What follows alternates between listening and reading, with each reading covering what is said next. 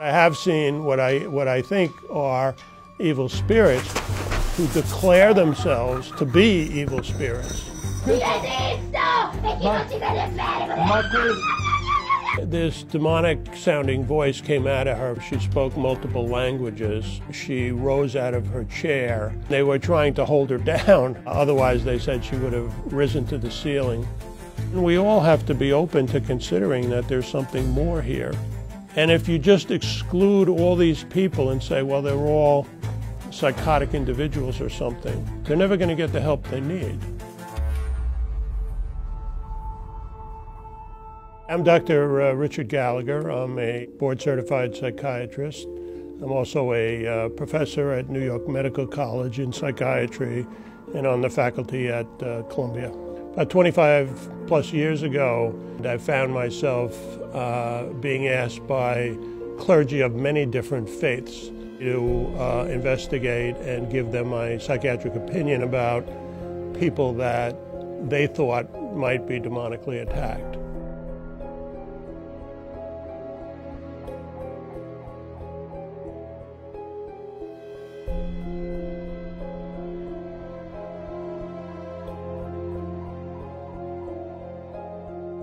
I went into my conversation with this priest a little on the skeptical side. And somewhat to my surprise, he liked that. He said, Well, if we didn't think you were skeptical, Dr. Gallagher, we wouldn't have wanted to use you.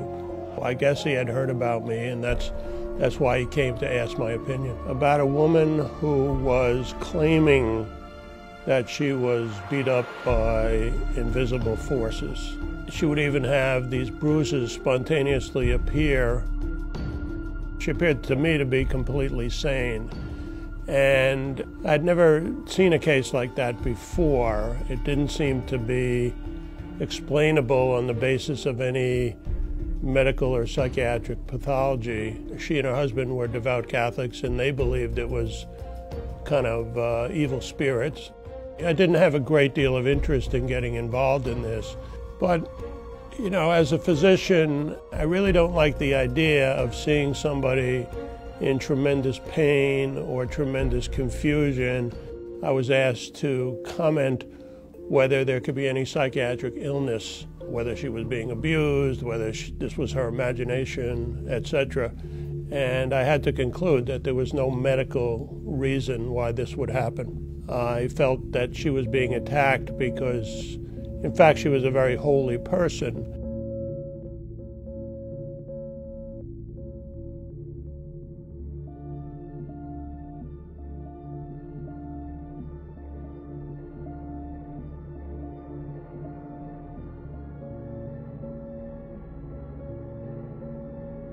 I believe in science.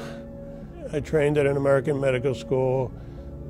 I use scientific, the results of scientific studies every day of my life. I believe in evolution, I believe in the Big Bang, I believe in quantum theory. I just have had a rare window or a rare opportunity to study these things a little more rigorously than most doctors would have. With a possession, you have to have, at least in the Catholic Church, what is called moral certainty. And there are very strict criteria, and it really depends on evidence. The essence of a possession is a person going into a trance and a demonic sounding voice coming out of them.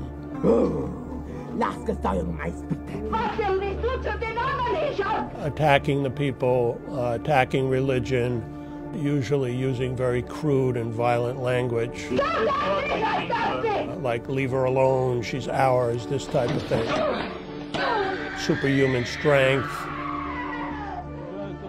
knowing secrets of people that a human being could never know otherwise.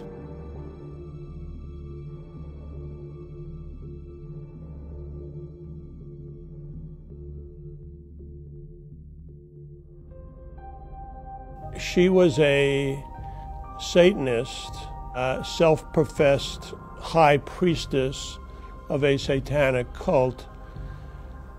The night before I first met her, uh, I was in my bedroom with my wife at about 3 a.m. And we had two cats. And these two cats just went completely berserk in a way that we had never seen before. And we were mystified. And the next day, the priest introduced me to Julia. And the first words out of Julia's mouth were, Well, Doc, how did you like those cats last night? Now, I'd never met the woman before. She would often tell me how people's parents had died. For instance, she told me, uh, I know your mother died of ovarian cancer, which was true. And once I was on the telephone line, on a landline in this case, with the other exorcist. Now remember, Julia was not on the phone conversation. This was not a conference call or anything. We actually knew where she was at the time. She was about a thousand miles away. And uh, that same voice came in over the phone line, said the same kind of thing. She's ours, leave her alone. So I said to the priest, I said, Did you hear that? And he said to me, Yeah, the evil spirit can even interrupt our phone conversation, which I found pretty remarkable. It was pretty creepy, but I also found it pretty remarkable. She was um, completely demonically possessed. It just doesn't happen out of the blue. It's not like your average person all of a sudden is going to wake up and be possessed. There is pretty much always an explanation. They have turned to evil in a very explicit way. For instance, in Julia's case, the context was obvious. She had turned to Satanism,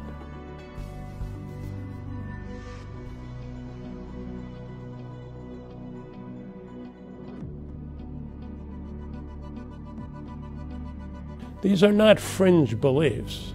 And then there are countries around the world where uh, Haiti, Madagascar, for instance, everybody in the country believes in the devil and everybody believes in possessions. And then throughout history, most cultures, certainly most major religions, they've always had a belief. In fact, they have an official belief in evil spirits and the ability of evil spirits occasionally to attack people. Critics often ask for uh, a ludicrous level of, quote, proof. You can't do lab experiments. And in my experience, many critics, they've never seen a genuine case. They've never even spoken to an official exorcist. I don't think that's very scientific of them.